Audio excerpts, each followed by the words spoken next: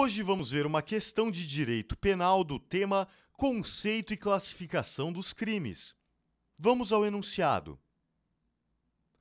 O artigo 269 do Código Penal deixar o médico de denunciar à autoridade pública doença cuja notificação é compulsória. Alternativa A.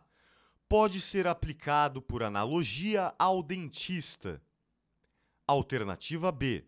Prevê crime que admite tentativa. Alternativa C. Prevê crime omissivo puro. Alternativa D.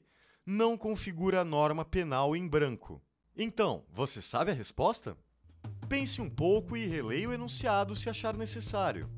Aguarde 30 segundos. Ou, se você já souber a resposta, clique em uma alternativa e veja o comentário.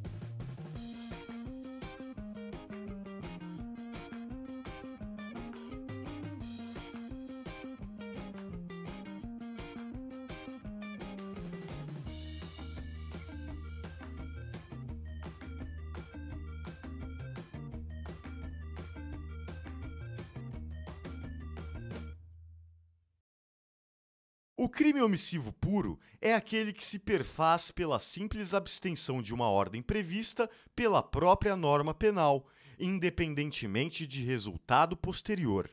Razão pela qual a resposta A está incorreta, uma vez que ela sugere a aplicação de analogia para prejudicar o réu, circunstância inadmissível para o direito penal. Os crimes omissivos puros não admitem tentativa. Ressalte-se, por fim, que a norma apresentada é uma norma penal em branco, uma vez que necessita ser completada por outra que apontem quais são as doenças que deverão ser obrigatoriamente notificadas pelos médicos. Portanto, a alternativa C é a correta. Gostou? Não deixe de compartilhar e se inscreva em nosso canal. Até a próxima!